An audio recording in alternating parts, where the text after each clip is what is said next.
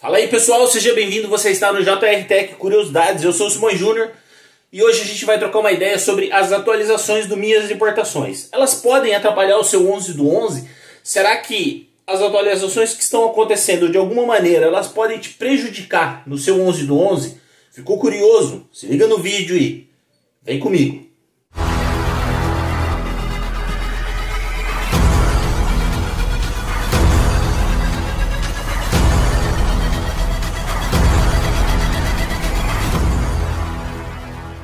Bom, pessoal, o que, que acontece? Tem uma série de pessoas falando das atualizações do Minhas, do Minhas Importações e aí a gente vai trocar uma ideia nesse vídeo aqui, tentar tirar o máximo de informações possível, o máximo de dúvidas que você tem a respeito do Minhas Importações. Se você não sabe, há algum tempo teve um problema de segurança no Minhas Importações e aí algumas medidas foram feitas para tentar coibir o problema de segurança. Uma delas foi a colocação daquele CAPT quando você rastreia no site dos Correios. Porque quando o cara dava um backspace lá, tinha um Paranauê que fazia que o cara conseguia ter acesso a alguns, algumas informações. Tinha uns esqueminhas lá que fazia. Então eles dificultaram algumas coisas no Minhas Importações. Diminuíram o número de itens rastreáveis, colocaram algumas situações lá. Mas tem algumas coisas que estão acontecendo lá que já eram previstas tem usuários dizendo o seguinte: ah, eu estou olhando lá agora e tem itens meus que eles já estão entrando direto o CPF no minhas importações. O que, que acontece?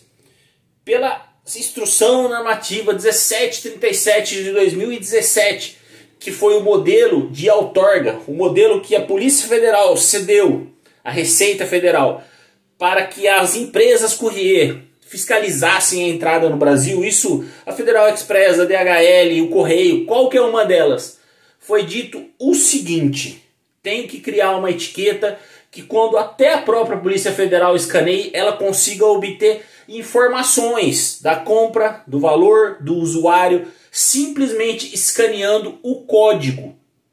O código de validação lá. Vai escanear o código lá e aí a hora que ela escaneia, ela já consegue essas informações.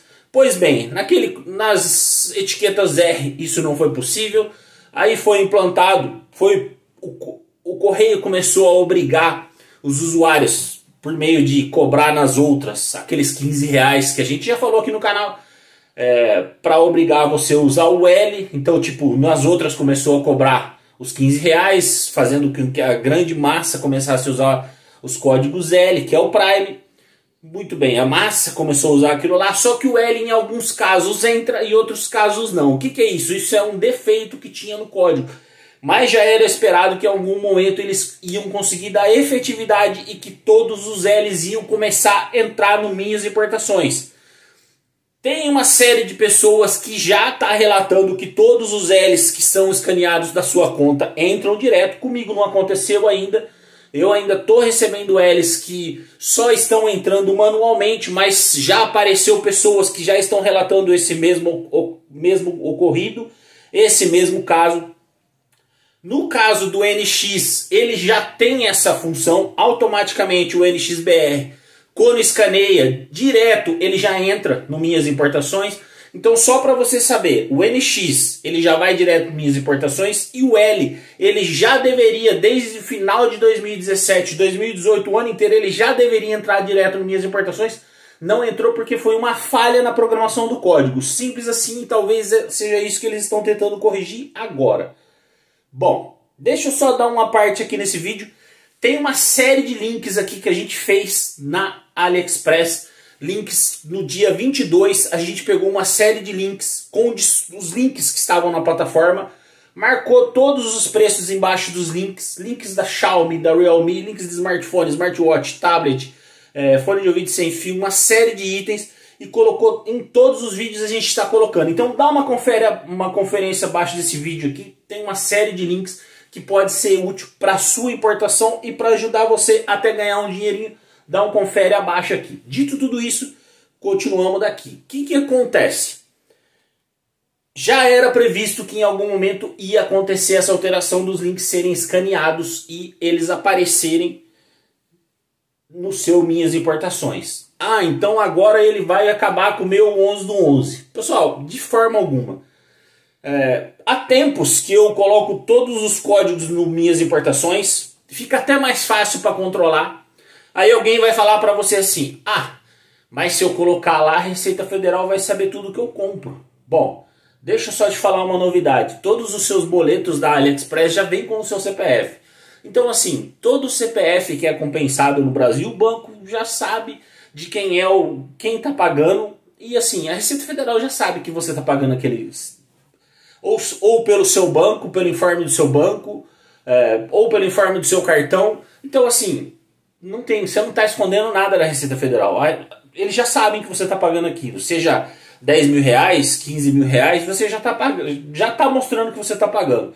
Se você está tentando esconder, sonegar alguma coisa, tem uma notícia para você. Em algum momento vai dar problema. Então, assim, tenta ficar o mais regularizado possível, porque em algum momento você vai ter problema com isso se você vende acima dos valores permitidos, beleza? O que que acontece? O fato dele chegar lá e colocar o CPF, isso, você automaticamente vai ser taxado? De forma alguma, de forma alguma.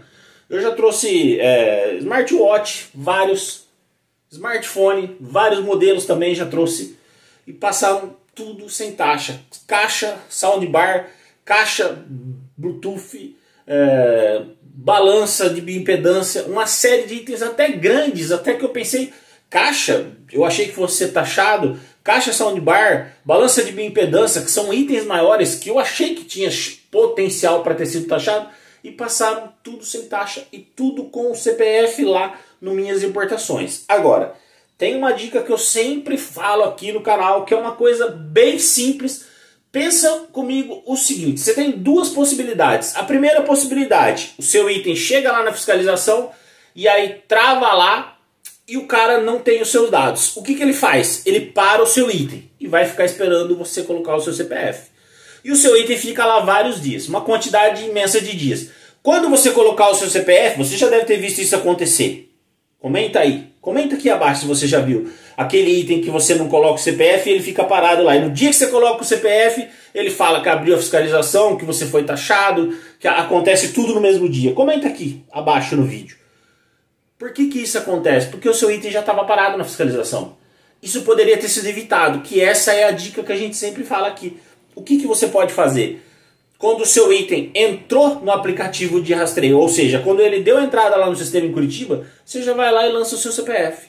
Foi lá e colocou o seu CPF. Ele já abriu a fiscalização? Não. Só que a hora que ele chega, o cara já tem todos os dados dele, já está lá escrito o valor, declarado lá, tal, já tem o CPF, o cara fala, o cara colocou tudo, esse não deve nada. Essa é a cabeça do fiscalizador lá. Então, assim, grande parte das vezes ele acaba passando sem taxa e você está querendo esconder um negócio aqui e ele fala, esse aqui não colocou o CPF, esse deve.